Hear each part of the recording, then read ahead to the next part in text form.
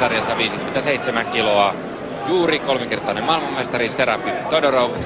Hän on tuo punapaitainen nyrkkeilijä.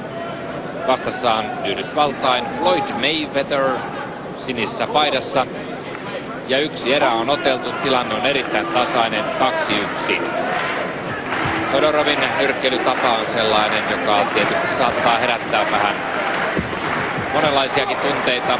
Hän yleensä vetäytyy taaksepäin koko ajan ja heittelee pitkiä suoria. On milteitä kakenoissa asennusotellessaan. Hyvin harvoin tekee aloitteita. Tämä on ihan poikkeuksellista Todorovia nyt tällä kertaa.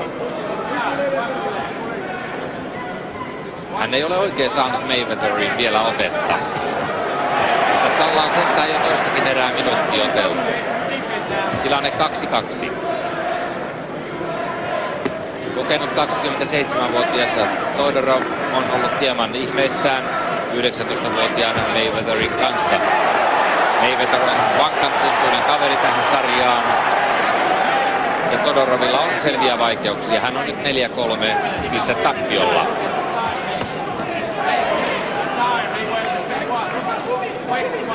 Ja Todorov aivan varmasti etukäteen on ollut vankin tämän sarjan voittajasuosikki. Mayweather oli mukana myöskin vuosi sitten Berliinin maailmanmestaruuskilpailuissa, mutta hän kärsi kolmannella kierroksella tappion Algerian Medihoudia vastaan 8-6. Nyt kuitenkin Mayweatherillä 5-3 pistejohto toisessa erässä. Ja jos tilanne tällaisena säilyy, niin tässä on pienoinen yllätys tulossa. Todorovin kyllä pitää nyt tehdä töitä. Hän on jo kolme pistettä häviöllä.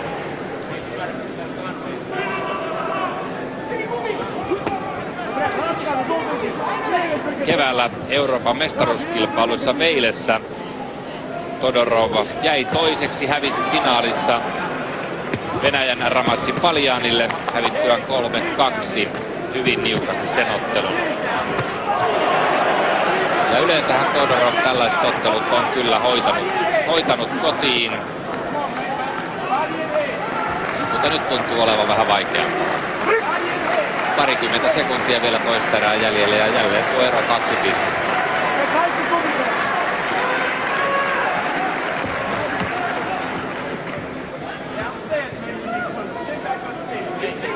Tässä on tietysti mahdollista nyt, että Yhdysvallat saa hieman yllättäen tässä sarjassa edustajansa finaaliin. No, kolmas erä ratkaisee kaiken pisteeroon. Vai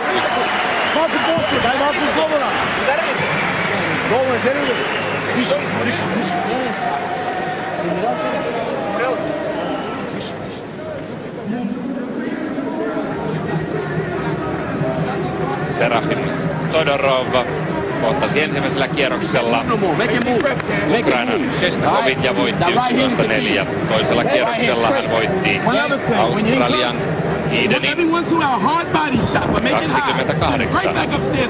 You can't afford when you get inside, you gotta get that body. Something's wrong with this guy. But keep it high. We don't need no low shot. Keep it high. Kolmannella kierroksella Todorov voitti Saksan Falk Husten 14-6. Ja nyt on vastassa siis Mayfetter, jota siellä kehoitetaan kovasti lyömään kovia vartaloiskuja ja sillä tavoin hankkimaan pisteitä ja väsyttämään Todorov. Mayfetter puolestaan ensimmäisellä kierroksella voitti Kazakstanin Tileganovin keskeytyksellä toisessa erässä. Sitten Armenian Georgianin 16-3 ja Kuuban Aragonin kolmannella kierroksella tiukassa ottelussa 12-11.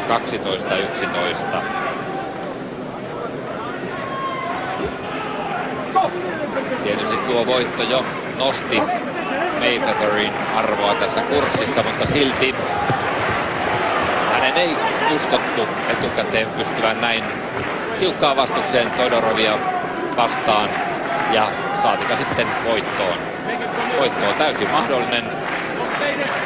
Kolmannessa erässä pari minuuttia enää jäljellä.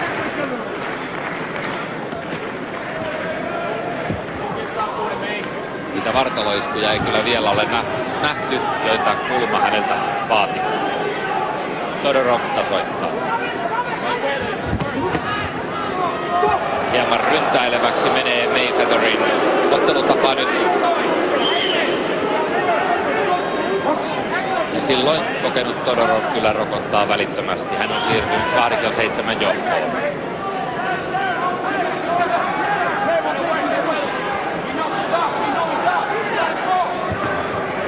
Siinä oli kyllä 9 pistekin hyvin lähellä.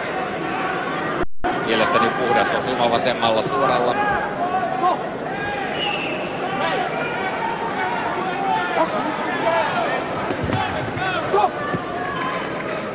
You gotta work, boy.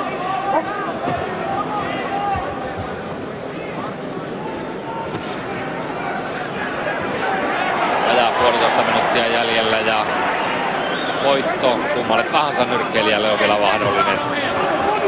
Mitään ei ole vielä ratkaistu. Aivan kuin ottelu alkaisi vasta nyt.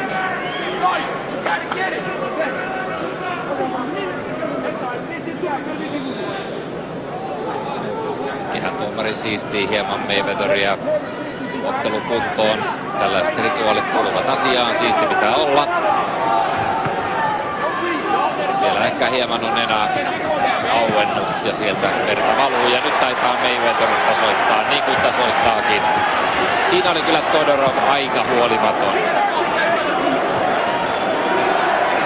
Viimeinen minuutti meneillään ja yleisö huutaa täällä hurjana oman nyrkkeilijänsä puolesta. Todorov saa yhden pisteen. En kyllä tiedä mistä se tuli. Siinä oli sellainen iskumylläkkä ottelijoiden välillä, jossa molemmat olisivat voineet saada pisteen.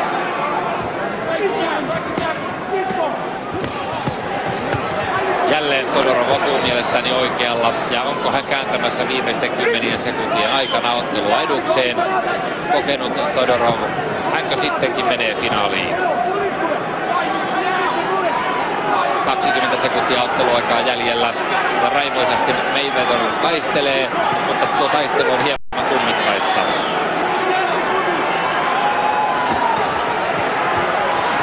Sieltä tulee 9.10.9, 6 sekuntia jäljellä. Todorov kulkee taaksepäin, suojaus alhaalla. Ja niin käy, että viimeisten sekuntien aikana osumia ei tule ja Todorov tämän ottelun sitten voittaa 10-9. Näin hän kohtaa finaalissa Somluk Kamsingin Thaimaasta.